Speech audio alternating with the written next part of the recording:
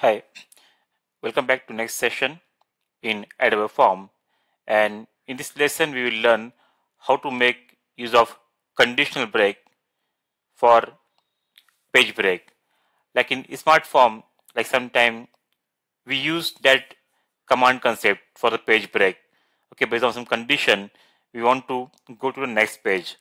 Example here in our is Adobe Form, we are displaying one table data and here we can see this uh, different sales document numbers 256 257 and consider a requirement like we want to display only one sales document type on each page. And for new sales document type sales order number we want it should go to the next page. Or second option may be on each page you want to display only a max 5 record or 10 record. So in both this case, we can make use of page break via conditional break.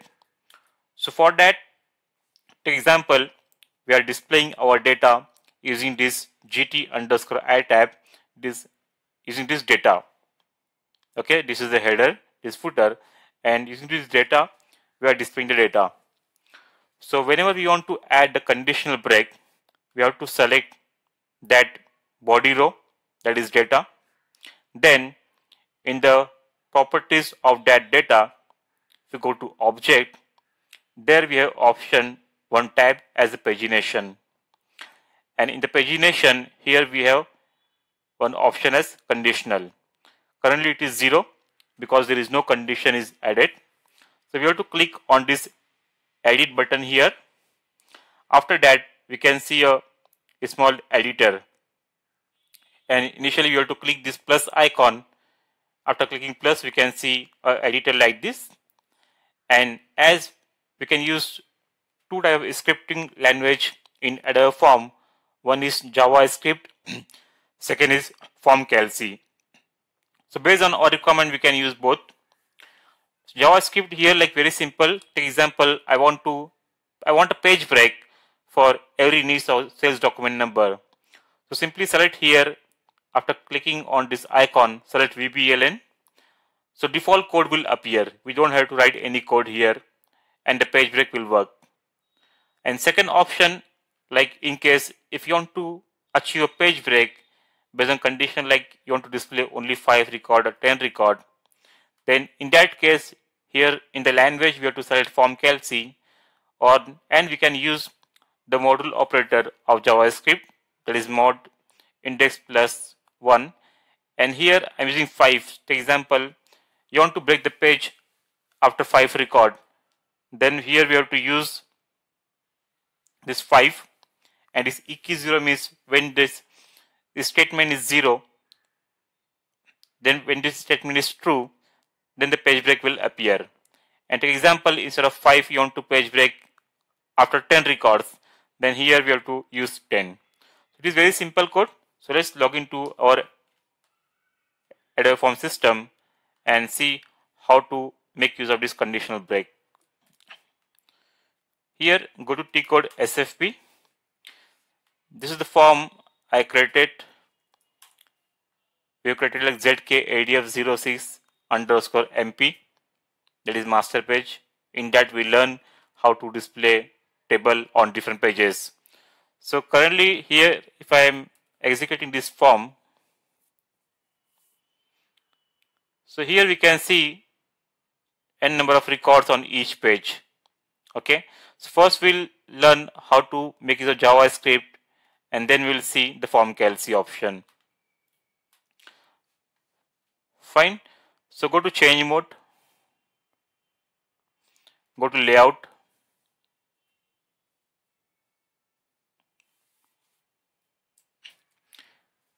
Now here on this layout, this is a table through which I am displaying the data. This is the header, this is body and this footer. So we have to go to foot data that is body and this we can do only on the subform with the float option. If it is not float, if it is position, that is not possible, right? Because you want to achieve page break right here you can see this is float. We can do this only subform with the float option. Okay, so go to data here and here if you're not able to see this object, go to palette and select object here. Or first go to workplace, reset palette location and then under the same select object if you're not able to see this. Okay, so now here we have to go to pagination and here we can see currently conditional are 0. Now click on edit, click on this plus icon. First we'll do this with the JavaScript, run at client and here we have to select the when condition when we want a page break. So here I want a page break whenever there is a new VBELN. Okay, so after that we can see a default code here JavaScript code. Okay, this is default code generated by system. No need to do any changes here. You can copy in text file and you can see this text. You can read this code completely. Fine. Here we have two options before and after. When we want this page break to be appear, means before execution of this statement or after this. Okay, so we'll keep before as it is. And now here when we want to go so I want to go to the top of next page. So here in the 2 I will select top of next page. In case if you are using subtotal and all so you can select that also here. Okay so important thing is like when condition and this break before or after click on ok. Now you can see here one condition. I will save this, close, activate the form,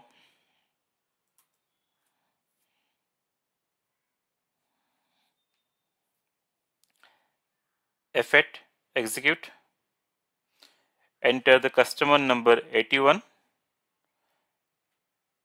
effect, now see here the number of pages are increased. So on this first page we can see only one sales document number 256. I'm pressing page down 257. So now on each page we can see only single document number.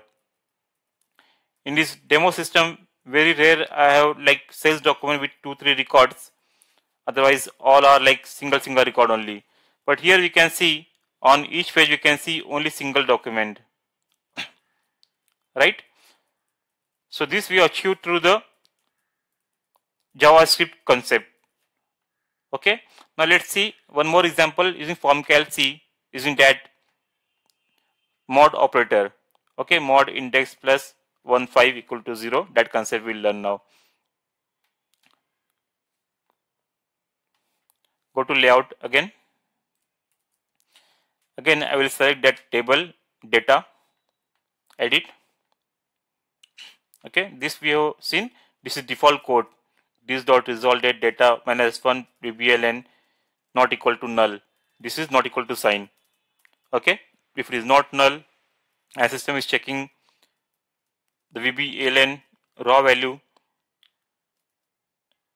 with the current raw value. If raise value is not equal to current raw value then the page break will appear. Okay now let's select here formcalc and we have to delete all this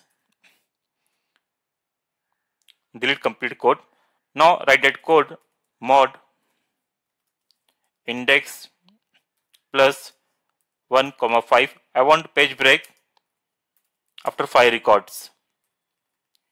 Okay, first we'll see mod index space 1 comma 5. This means that if this equation is true, if the output is 0, then this will work. Okay, form calc client mod index 15 fine. And now here I will select OK. Save. Close this. Activate the form.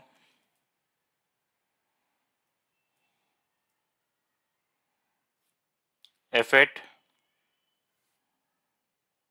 here select 81 Now see the output. Previously on each page only one document was getting displayed. Now instead of VBELN what we did like I've changed the code for mod 5. Okay, I'm I want to display 5 record on each page. So 1, 2, 3, 1, 2, 3, 4. Just displaying 4 records. 1, 2, 3, 4, 5. Now you can see 5 records on each page. Okay, so here you can see 5 record on the each page. Basically it is counting the number of rows I guess. Like header also it is counting. Okay, now let's change to uh, change this to 10. So based on our requirement, we can do this. Now I will change the same code to 10. Select data, go to edit. Now instead of 5, I want 10 record to be displayed on each page.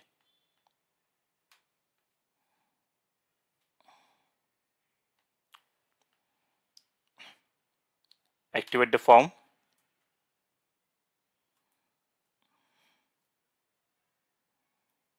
F8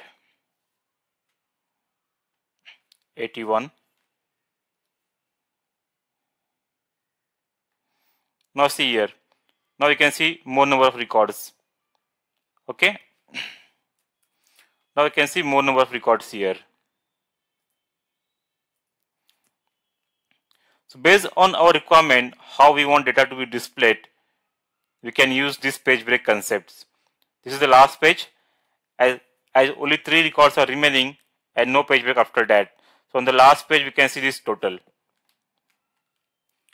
Fine. So depending on our business requirement, we can use this page break concept. Sometime we might require, suppose we are we have created the Adobe form to display only one sales document type, but our requirement is for each new item, we want a page break. So in that case, using that JavaScript concept, instead of VBELN, use POSNR.